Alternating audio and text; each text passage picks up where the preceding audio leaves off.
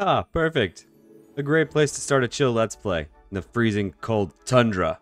Okay, so to be honest, it's not such a terrible start. I mean, we've got some spruce trees, water, and it looks like a shipwreck in an iceberg. Okay, interesting start. Never had a compass, books, and feathers before. We'll take the free chest. Oh. Don't mind if I do. Think I quite like this start. Now just to find some place a little more warm to build in. And while we go searching for some place a little bit nicer, let's talk about the goals of this world. Oh look, a village. Nice. So back when I started YouTube about two and a half years ago, my main goal was to learn how to build better. And hey, I think I accomplished it pretty well. A lot of my builds have done really, really well. And I think they've turned out quite nice. But I've kind of gotten a little bit off track. My building has stagnated. And my joy in making these videos has slowly deteriorated. YouTube has been quite fun. But honestly, I really don't like editing. Now, that's not to say this video is not going to be edited or fun. Um, but it's definitely going to have a, a change of pace. Things are going to be a little bit more chill, little bit more relaxed. And with that, I think it's going to fit my personality a whole lot better. Of course, we're still going to go on wacky adventures and get into lots of trouble and danger, but it won't be hardcore for a little while, and that'll be okay. I'm going to return back to the goals that I set for myself when we first started YouTube, and I'm going to return back to learning how to build better. I'm going to try and challenge myself with different build styles and aesthetics, or even with goals that I've never set for myself before, like building an entire village that looks better than the one behind me, or getting around to actually building a castle. And also, if I'm able to, I want to make a difference in your life. I want you to walk away from my videos and my channel feeling like maybe you've learned something. Maybe you just had a chance to take a break from the stresses of the world around you. Or maybe you just found a new friend in me. Whatever it is, I hope you're able to find it here. And with that, let's get started. So obviously we've done a bit of raiding, found ourselves a quick little pumpkin patch here that we'll gather up. And there is, of course, a pillager outpost right over there that we're going to have to check out because there may be some allays. And that nether fortress may actually give us some good resources. So let's see what we can do.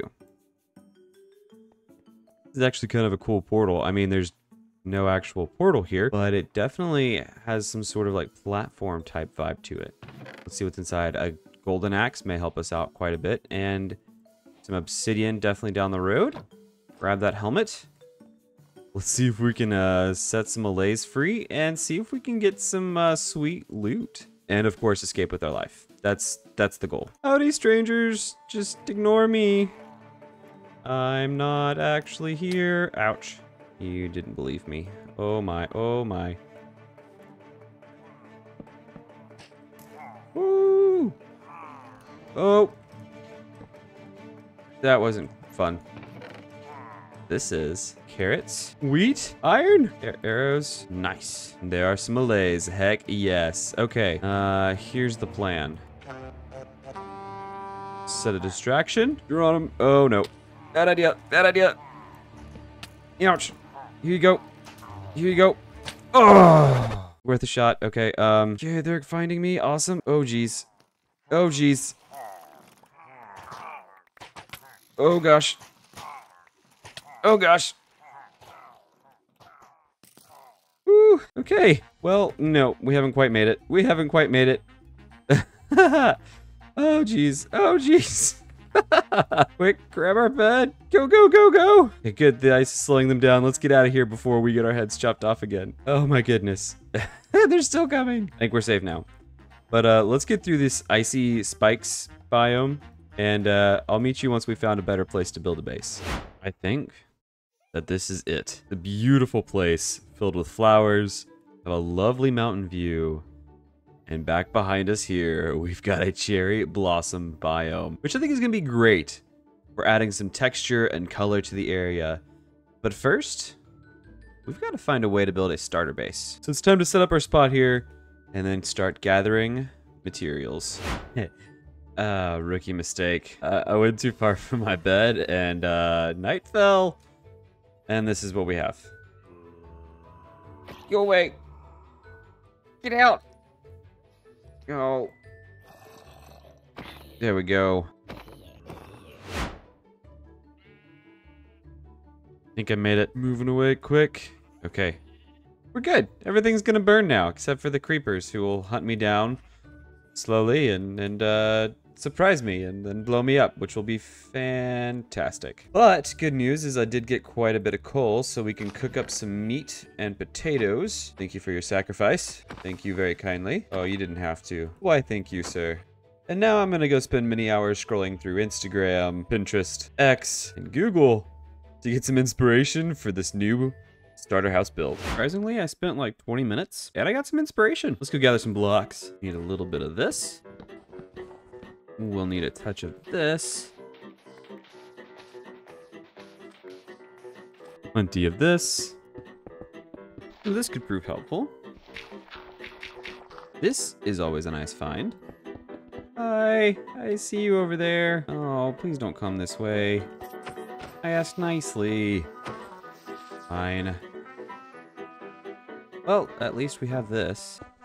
Hooking up some iron real quick to make some shears, because I think these will be a nice touch for our build. Gather up a few more materials, and then we'll get started building. I think I've got just about everything I need, but I'm not quite sure. This is definitely a different experience for me as I usually design my builds in creative mode and then bring them over here using Litematica or something like that. While I may be doing some of that for some future builds, today I decided to not do that and just be a little bit more chill about everything that we're doing. I think it'll be fun. So we do have some stone cooking up in here. Got a little bit of extra cobblestone, you know, just in case we want to do some texturing. Got some more cobble here. We're going to be using some diorite. I know Diorite's probably one of the grossest blocks in the game, but hey, it might just work. And of course, I brought some spruce trees over here to gather some more of that wood, as well as gathering some oak and birch back there if we need any of that. And uh, I think we're gonna have some fun. We'll definitely have to go mining a little bit later to get some iron for some lanterns for around the house, but everything's coming together very nicely. Before we get started building though, we're gonna need to clear out some of this area of the grass, some flowers, and maybe even do a bit of terraforming to fill in some holes or things like that. The build may be a bit bigger than I'm anticipating, so let's see what happens. looks a bit better.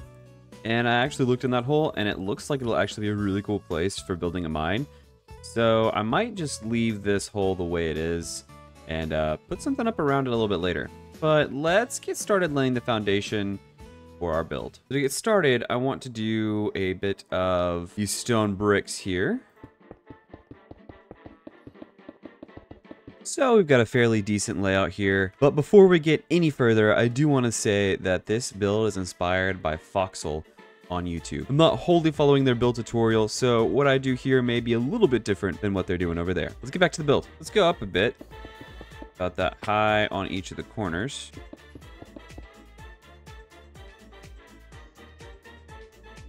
Now I think we connect everything across the top here.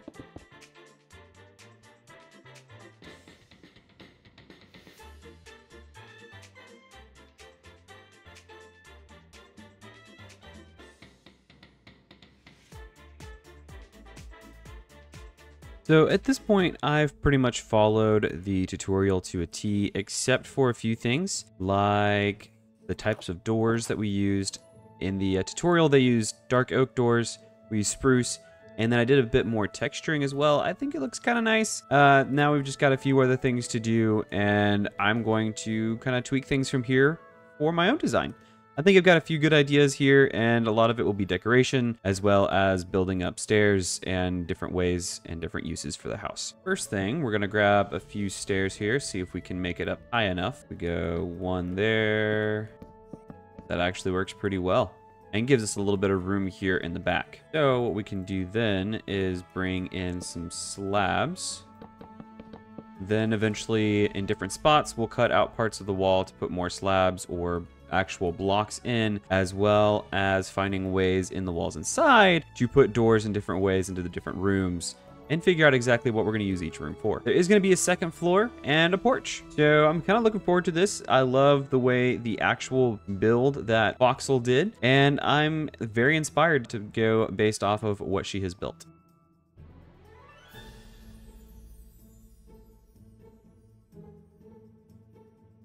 Some of you watching may have actually seen this build on Foxel's channel and are basically saying, hey, this is not a different view or work. It's definitely all Foxels. Well, yes and no. I am working on making this my own by doing different things and tweaking it along the way. But I also did get very inspired by Foxel, and we're going to use this build to inspire the rest of the builds in the area as we work on building our village. So that's part of the reason why I am using somebody else's build in this world, because I want to be inspired throughout the rest of the world.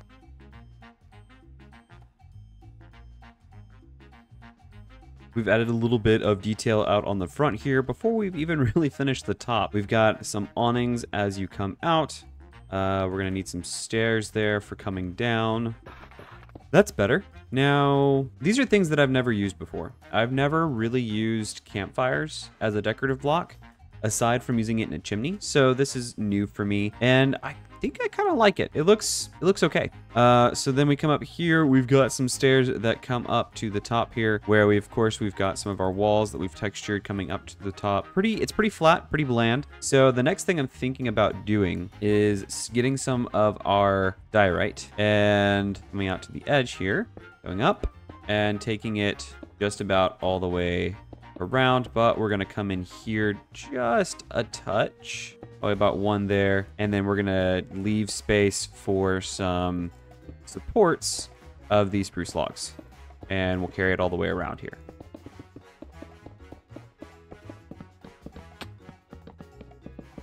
I've got to be honest with y'all. I was really doubting diorite, and honestly, I kind of like it. I mean, that looks okay. It uh, it's not not as bad, nearly as bad as I thought it would be. I think the next thing that we're gonna need to do, of course, is get some more diorite to help finish that out. But I think also getting some sheep wool of the white variety will be helpful in texturing it. I was uh, having the allay help me out getting the white wool, and it just just came upon me. Um, one of the allays is missing. I don't know where it is or what it's doing, but uh, well, it's, it's gone. I guess we're moving on. We'll get some more later. Okay, now things are starting to look kind of interesting. I like the way everything is coming together. We've got a bit of a roof to put up and some more details to work on. So back to uh, watching everything burn around us. Back to wood gathering. Well, That's unfortunate.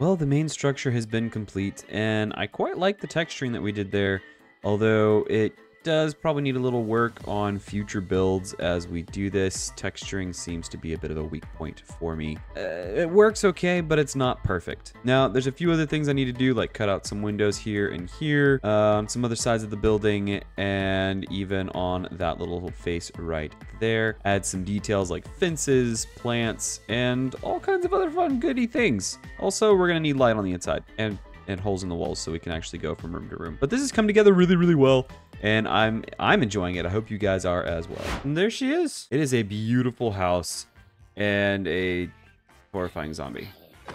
It is a beautiful house. And I will definitely say I pretty closely followed what Foxel did, but I did make a few tweaks in my own, like adding some texture to the walls with different types of blocks. And I even used diorite, which she used quartz in her build. And there's some other things that are a little bit different as well. Um, so I'm not going to take ownership for this build, but it's definitely one that I'm going to use to inspire the rest of the ones that I put in this area. Now, I have not watched anything about interior, so we're going to give this one a shot ourselves. We've got a little bit going on in here.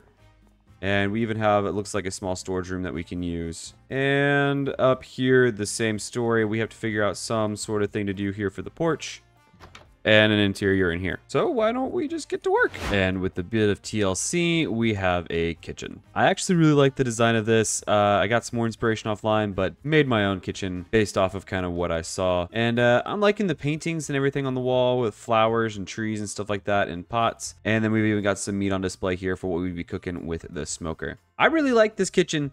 I don't know about you guys. Let me know in the comments below. Next, we have to move on to the living room. It's fairly simple and straightforward, but it still looks pretty nice. I mean, there's probably a few things that I would add, like actual bookshelves and maybe a little bit more seating, a little bit more of something in the middle besides just carpet, but I think it looks pretty good so far. We might even add some shelves up there a little bit later, but I'm, I'm kind of content. If you guys have any suggestions for things that we should do in here, please let me know.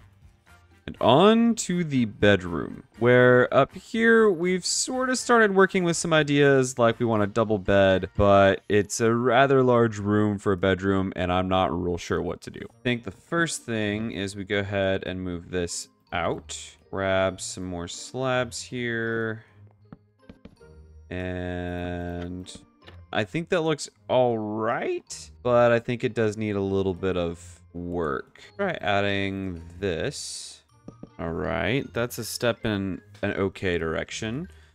What if we do this and replace this here, here with more full blocks and something like this. Hey, bear with me. And that is a bed fit for a king. Now we just need to figure out what else to do in here. And I think I've got a few ideas. Gotta say, I like it. I like what we got going on. I ended up making some of these crafted pots, which I completely forgot about. Um, added them in there. It adds a nice touch of detail.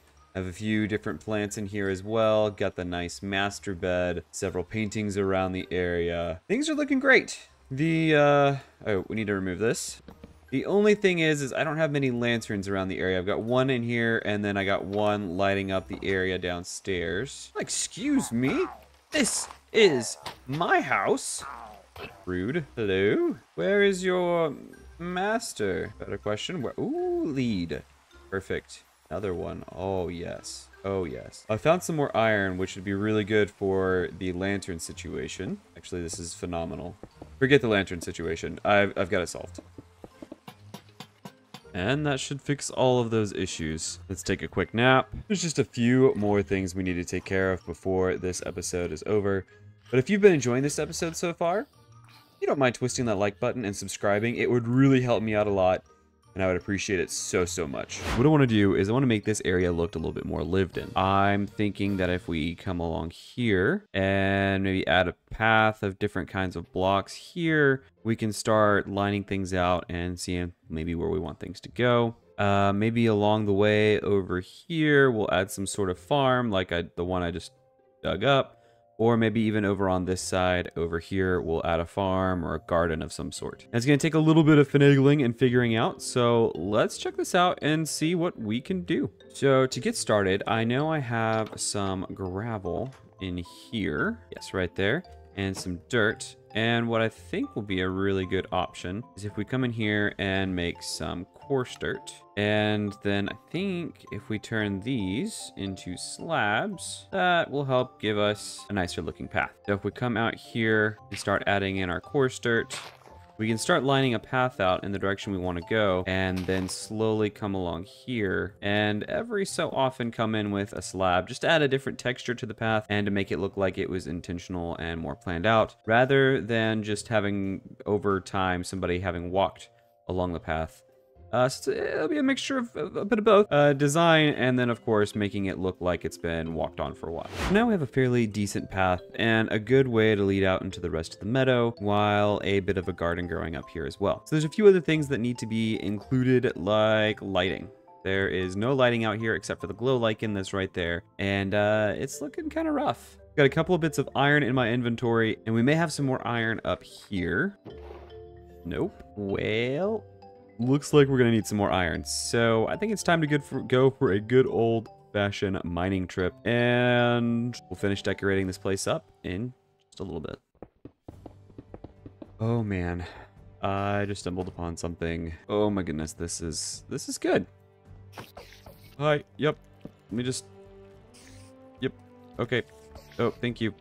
Oh, hi. Oh my gosh, guys, this is amazing. Um, this is actually a really cool dungeon. I like how it's opened up down here on the bottom and it goes down to the stalagmites. This is amazing. We also have a, a brilliant, brilliant thing that we can use. Uh, ooh, saddle is big. Unbreaking 2, not as big, but pretty big. And we'll take the music. That's, that's this is nice. This is really nice. See if we can find any more iron real quick, but then uh, we have to remember how to get out here. Pop that in there with a little extra fire. And while that's going, let's go get ourselves a buddy. Hello. You want to become friends? Yes? No? Yes? No. Okay. Are we best friends yet? Are we best friends yet? No. Okay. Let's try again. Let's let's just let's just be friends. No? Oh, you've got to be a good donkey if you keep kicking me off so much. Oh, oh, so good. All right, let's see. Seem pretty quick for, for a donkey. You got, you got a bit of jump. You got a bit of jump. This is nice. All right, let's see. We don't really have a place built for you yet, so let's do something like this real quick. You can chill here by the food. You'll be safe, I promise. I got to get a chest for you real quick and then we'll go on adventures galore. So we need more light out here, and here's what we're gonna do. I have 13 lanterns, and we're just going to place them around in certain spots where I think they might be good, like there. Might could get another one right about, right about here. Probably one for Shulk's little lamppost. Another one there and we'll add a few around the area as well. And now, if we take a quick look at it, I think it's pretty good. I'd say it's complete. Thanks for watching, guys, and don't forget, if you enjoyed, please make sure you twist that like button and subscribe if you are brand new. And next time, we'll go on some adventures, gather some other blocks for building new things, and we'll figure out what we want to do with the rest of this area.